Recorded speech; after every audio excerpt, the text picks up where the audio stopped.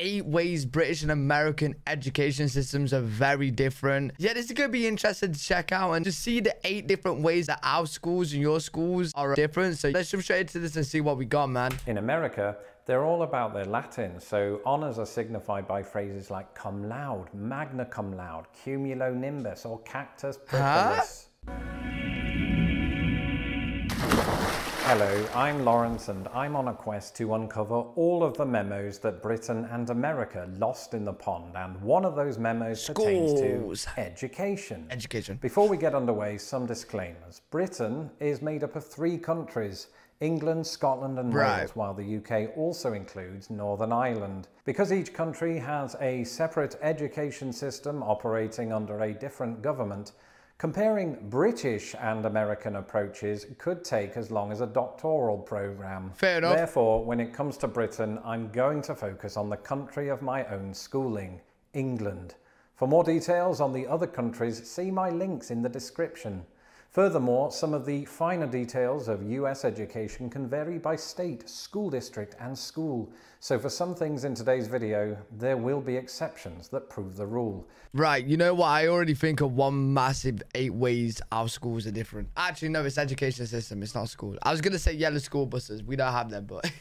Basically, sure, there's going to be a part two. Ahead of his election victory in 1997, Former British Prime Minister Tony Blair summed up his political priorities with three words education, education, education. Right. The problem was he didn't specify in what order. Schools in. The problem is education don't actually teach you life skills. That's the problem. That is the. I'm not here to cause a massive debate with schools, right? But listen, the the thing that I've realized is when you leave school, you, you you're in the real world and you're like, oh damn, I didn't learn a thing. What am I doing? What do I do with tax? What do I do with insurance? What do I do with this? What do I do with that? What? Bro, it's mad. You should learn this in school. I don't know. I don't know why they don't teach you these, these things. In England, date back to about the year 598.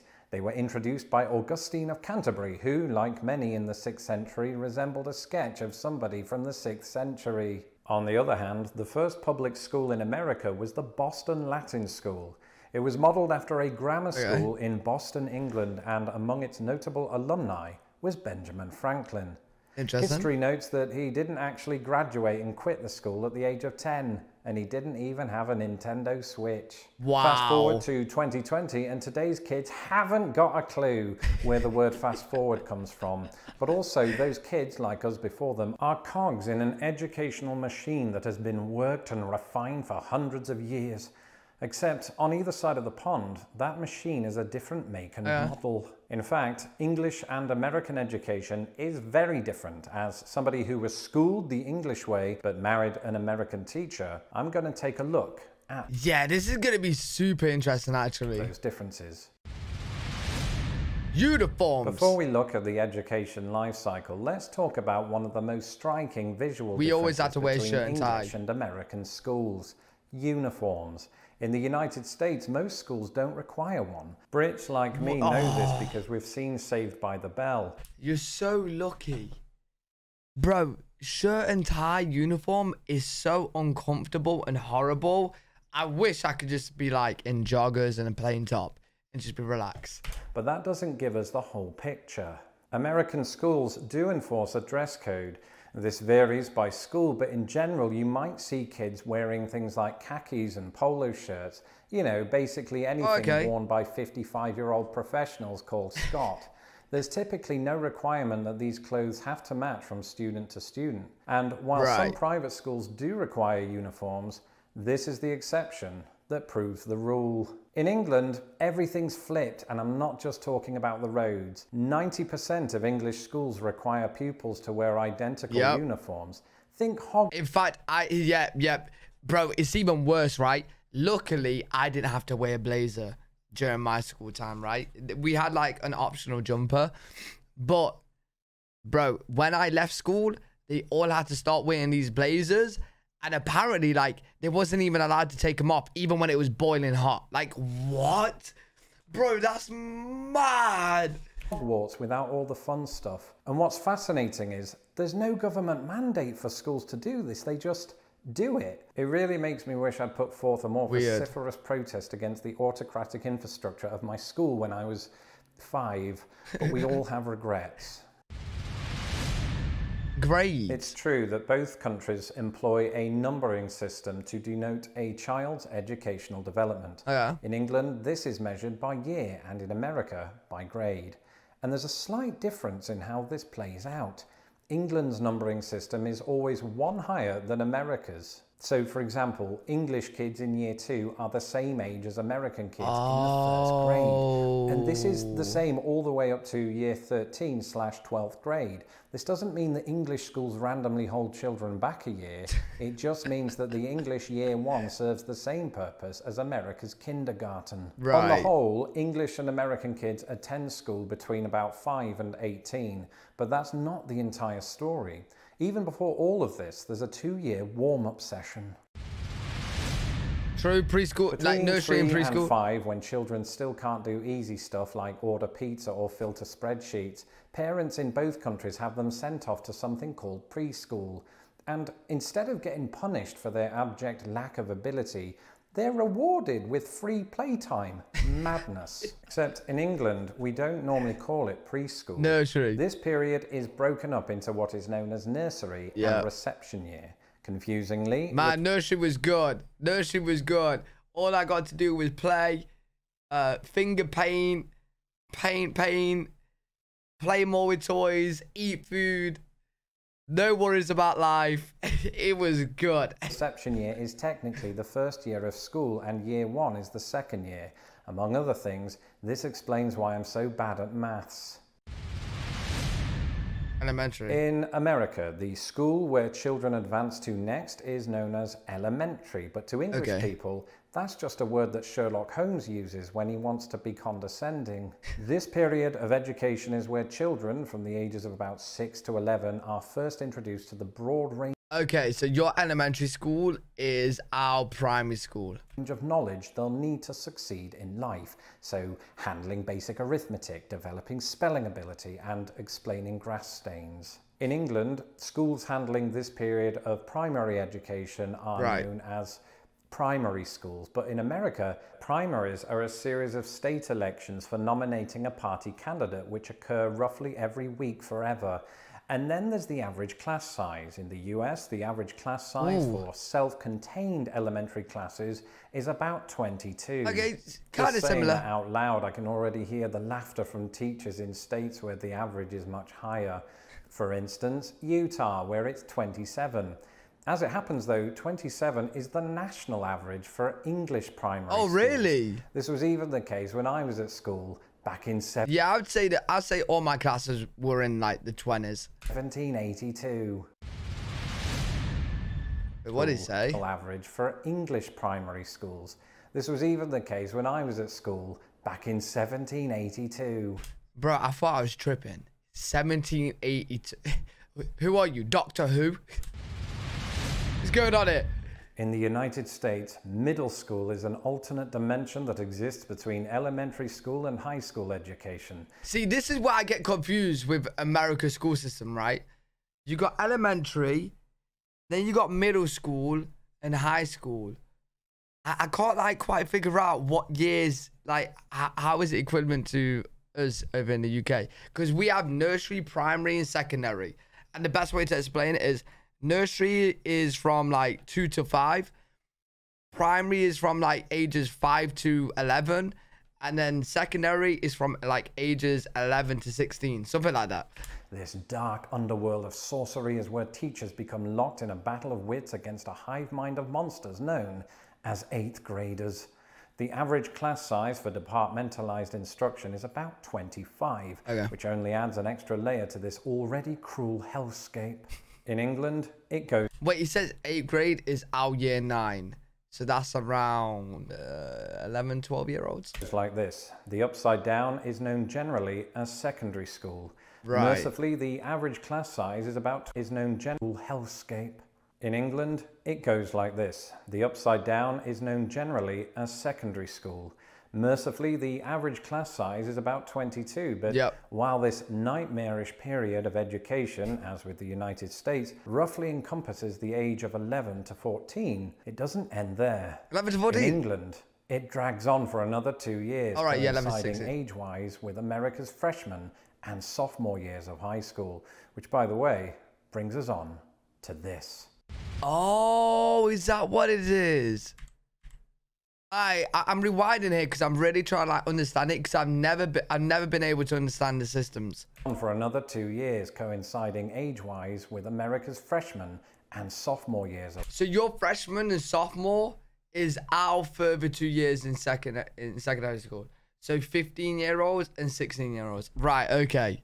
Okay. Got it. high school, which, by the way, brings us on to this. High school. Ah, yes, high school. In the United States, this is a period of education from the ages of about 14 to 18. After Right. freshman and sophomore year comes grade 11 or junior year and grade 12, senior year. This is typically when the stu- students begin their development into humans. It's so confusing, honestly. Like you not being in America, are pro are definitely not confused by it. But for, for me trying to understand it, there's so many, bro, and it's so split up. Ours is literally nursery, primary, secondary, college, university, right? Nursery, two to five years old. Primary, five to eleven. Secondary, eleven to sixteen. And then college, 16 to 18, university, 18 to 21. But like, yeah, you know, I, I, I don't know, it's, it's confusing the hell out of me, I ain't gonna But lie. it's also when most students take their SATs, a series of tests to determine readiness for college. These are not to be confused with the English SATs or SATs, which are assessments taken by 7 and 11 year olds. In England, it is a similar process, but by a different name. And before keyboard warriors like Uncle Toby start writing in all caps that we have high schools in the UK, I know we do. But to keep things simple, Do that we? same period of schooling is typically structured like this. Age wise, the last two years of secondary school are to England what freshman and sophomore years are to America. Right. This is when pupils across the country take GCSE tests in all this. See, I'm glad I watched this video now because I've seen so many like movies and like TV shows and stuff where they mention like, oh, he's a freshman, oh, he's a sophomore. And I was sat there like, oh, like what, how, I don't know how old he is or whatever because I don't understand. But I understand now, freshman, years 10 and 11, sophomore, 10 and 11. Okay, cool. Freshman and sophomore years are to America. This is when pupils across the country take GCSE tests in all their subjects to determine suitability for further qualifications. Yep. Meanwhile, the English age equivalents of junior and senior year take place in what is known as sixth form or college. This is the point in education where we stop So your junior and senior is our s- college or sixth form. Okay. wearing uniforms and start dressing like John Travolta. it's also where we study two or three chosen specialized subjects as Yep. part of our A levels. For me, this was English, history, and theatre studies because that's how you become a YouTube sensation. the results of these tests determine your suitability for university. They're often compared to America's advanced placement exams. But while both help to determine a student's path in higher education, they're not entirely the same thing. That being said, higher education does come with its own differences. Higher education. In the US, college means something entirely different. It's the general catch all term for an institution of higher education. In England, this is referred to as university or Yeah, I was gonna say he's making it sound a lot more confusing right there. Your college is our university. or uni because everything devolves into slang at some point. Of course, specific institutions in both countries play hard and fast with this rule. See, for example, Harvard University and Imperial College, London. For American students, a bog standard bachelor's degree takes four years to complete, while in England, unless I, you know, somehow skipped a year, which is entirely plausible in hindsight, a bachelor's degree typically lasts three years. Upon Yeah. completion, students in both countries can graduate with honours. The difference, though, is how this is printed on a degree transcript. In England, Bachelor of Arts, or BA, might be followed by the word honours or ons because see previous comment about slang. In America, they're all about their Latin, so honours are signified by phrases like cum laude, magna cum laude, Huh? cumulonimbus, or cactus priculus. Bro, why these are like Harry Potter characters, bro. Terminology. Like any good teacher, I've left the best bit until the end of class. It wouldn't Right. be America and England if they weren't separated by a common language. So let's take a rapid fire look at the differences in educational terminology. As we've already seen, you've got grade versus year, but you've also got semester versus term. While America has its students, England has its pupils. Oh wait, yeah, we do say pupils. Student. Why do I? I I would say students now. I wouldn't say pupils. I I said pupils during school, but after that, I'll just be like students. versus term. While America has its students, England has its pupils. Whether or not they attend elementary school or primary school, high school or college or college or uni, there's a good chance they'll have to study math Yep. or maths. And in England, we don't take tests, we take exams. Oh yeah, in the UK we don't say math. We always say maths. In England, a rubber erases a mistake. In America, it prevents one. And speaking of words that have different meanings, let's finish today's class and or module by talking about two words that Wait, I wait, wait, wait. I'm so slow. Oh my god, I'm so slow. I literally just. Wait, bro, did he just say? he said he just said your eraser in America in the UK it's a rubber, whereas in America rubber is where you erase prevent a mistake. Oh my god. or college or uni, there's a good chance they'll have to study math or maths. And in England, we don't take tests, we take exams. In England, a rubber erases a mistake. In Yeah. America, it prevents one. Oh, that's and a per- that's words that have perfect. different meanings, I can't believe I didn't get that straight away. I'm so dumb right now. let's finish today's class and or module by talking about two words that perennially cause confusion. Public school. In the United States, a public school is one that is publicly funded and free for students to attend. Same. In 2016, more than 70% of students were publicly educated in the US as opposed to privately educated. In England, a public school is something different. In the late Huh? 1800s, the term public was used in the sense of these schools being open to pupils of any locality, denomination, or paternal trade. Basically, anyone whose parents could afford it. So, an English public school is a private school. A publicly funded school, on the other hand, is called a state school, which has nothing to do with state universities in America. It's all, it's all confusing, and I've lost my train of thought. Ah, saved by the bell. That's it for this Wait, wait, wait, wait, wait, wait, wait. I'm so confused right there. Bro, our public school in the UK is the same as America. I've never what did he what did he I've never heard anyone in the UK call a school state school ever. There's no way I'm wrong with this. We call our schools in the UK public schools. Huh?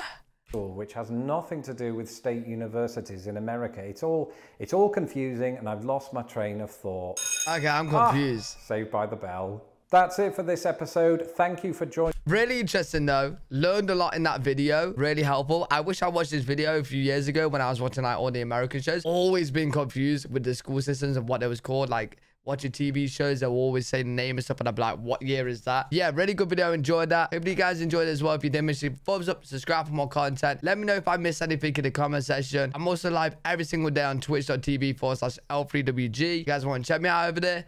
I'll see you on the next one. Peace.